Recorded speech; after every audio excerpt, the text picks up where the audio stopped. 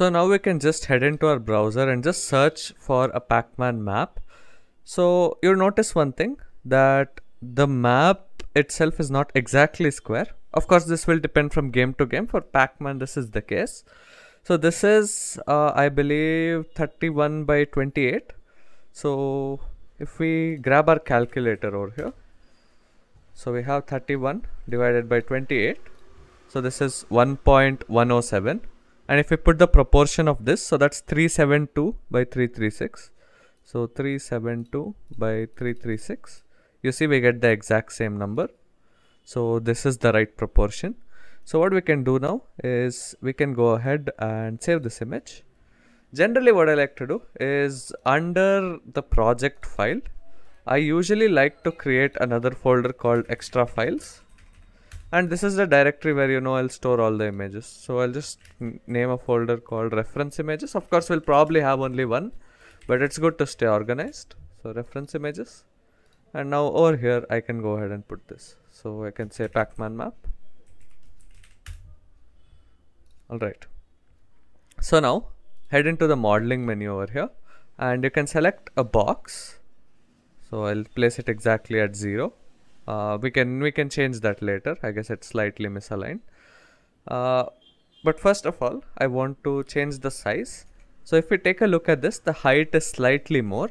So what we can do is, this is not the height, this will be the width actually because look this is the y-axis y-axis is the horizontal axis so this is actually the width so and this is actually the forward axis the x-axis the red line whatever you see so if you want to increase the width it's going to be more towards the y-axis. So we can change the axis but just for uh, ease of use we are going to stick to this convention whatever's there on the map. The top view is tilted 90 degrees so that's fine. So what we can do is for the width, we can set it to something like uh, 28 times, I don't know, maybe 100 is what I can set it to. And here I can set it to 31 times 100. You can perform multiplication here, no problem. And now if I take a look at my actual character, so I'm not sure where my character is, so I'll head back and add it. So I'll head back and I'll add my third person character. Alright. So just for a sense of scale here. Now if I head back into my modeling mode and create a box, the size should be retained. So add 0, 0. So I think this is okay. So this size should be fine for the entire Pac-Man map. So if we just have a look, so this seems about right. We'll not worry too much about the proportion. We can adjust the speed to match for that. So we can hit accept. And now if we head into a perspective mode, it's just there since it's a box. Doesn't really matter. Now what we'll do is we are going to import it. So under your content, uh, generally, uh, I like to create another folder called content inside this content folder. But if you don't like that nested hierarchy, uh, what we can do is we can do it here itself so I'll just call it references reference and here I'm going to import that image so under pacman rtx extra files I can go ahead and import this so as you see it's not visible so let's take a look why that's because the format is WebP. What you can do is you can open up uh, a different image or you can open it with a software such as GIMP. So I'm going to open it with GIMP and I'll just export it as a PNG. So that works as well. So I'll open it with GIMP. It should take a quick second. And now if I hit Ctrl Shift E, I should be able to export it as a PNG. I don't recommend JPEG because that's lossy compression and maybe a few edges are going to be jagged and stuff. Okay, so we have the PNG now we can go ahead and import it so you can of course if you don't have gimp you can just choose another image with the right proportions that works as well open it up and now what I can do is I can just drag this over here. And now as you see we get an accurate representation of the map. Now this is what we'll be using as a baseline to kind of model our actual map. Obviously this will not be the final map.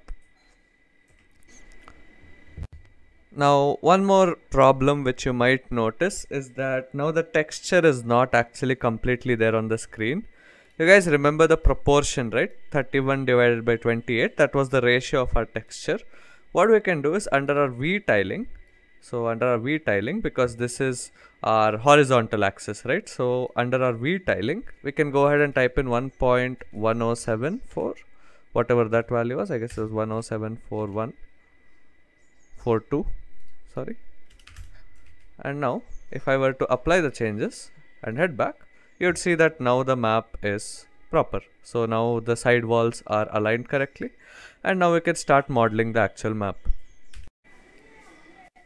Now to make the walls themselves we can head into the top view of our modeling mode. So our our viewport. And over here what we can do is we can change this to unlit so that we can just see the texture. But the lighting won't be affected. And head into mesh uh, not mesh sorry model polygroup edit. And we should have an insert edge loop option. And what you can do over here is you can align this properly to where the walls are. So I'm going to take it right in the middle of the wall over there. I'm going to do the same thing for the other side. So right in the middle where the wall is. So this will be one of our edge loops and over here as well I'm going to do the same exact thing. So I'm going to select this. So let's go ahead and do that over here. So exactly in the middle where the wall is. So these will be our outer walls. Of course we need more number of edge loops to accurately define the map. So over here we can go ahead and add an edge loop.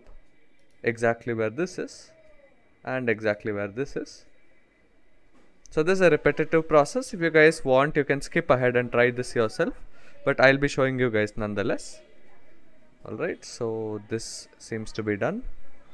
And over here as well, we can add an edge loop to finish this wall. Alright, same thing goes over here. So right in the middle of this, you can add two edge loops. Now, over here we can add the edge loops for this wall. Repeat the same. So the accuracy doesn't really matter over here to be completely honest because I mean these are all minute. These will probably be in order of millimeters or centimeters if we commit any errors. So it doesn't really matter. So again just see uh, how much you really want to spend time on this. So go ahead and do that so these two should be fine. And this line is already aligned. So I'm pretty happy with that. And this one as well. It seems to be aligned but not quite. So I'm not sure what this line was for. So this line was for this. So we need a separate one. So this is not quite there. So go ahead and do that. So this one is settled as well. Now over here can select this. And I guess we're done with the top row. Not quite. So select these two. I guess those are already aligned. Now let's head in here. So for this one we can go ahead and align this like this and like this. And we need one horizontally as well for this notch I guess we already have it for this. And over here as well we can go ahead and insert an edge loop. So I'll undo that. We need one edge loop over here. We need another one over here. So this one is settled. We need one for this and for this. So one thing you might notice is that uh, as we model these edge loops, uh, some other parts of the map are also getting modeled off. This is due to the alignment.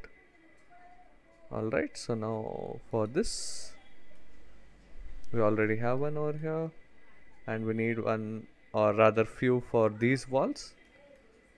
So this wall is not exactly aligned, so we are going to make a new one here so create one here create one here and we have one horizontally over here as well.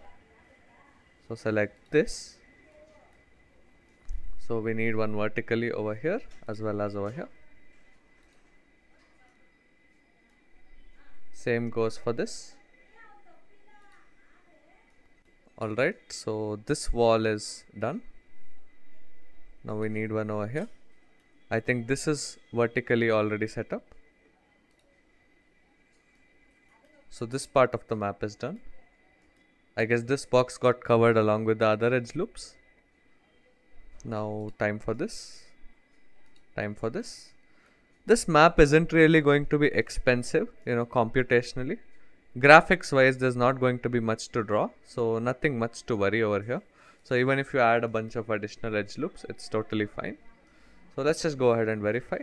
So we have everything for this section so this section seems to be good. Over here as well we have everything required for this section. So this can be extruded quite easily. And I hope we have this box covered. So we have this box covered we have this section covered over here. And we also have this. So this one has all the required edge loops. So we have covered this. So this is just like verification. Okay we have not done this probably got missed off. All right so if you take a broad overview you should get all the edges covered. So this one is done as well. And now over here as well we can go ahead and do it. So if you see you should not have any blues like this. So if you see any blues it means you have not covered it. So I don't see any blues. So I'll just take a closer look so no blues over here. So now we can hit on done and accept this edit. And now if we head into wireframe mode you'd see that we actually have a sophisticated set of uh, tris. They should have been quads but they're tris. Now if I head into perspective nothing much would have changed. Now what we can do is we can head back into the top view and we can start selecting the faces themselves. So I can head into the top view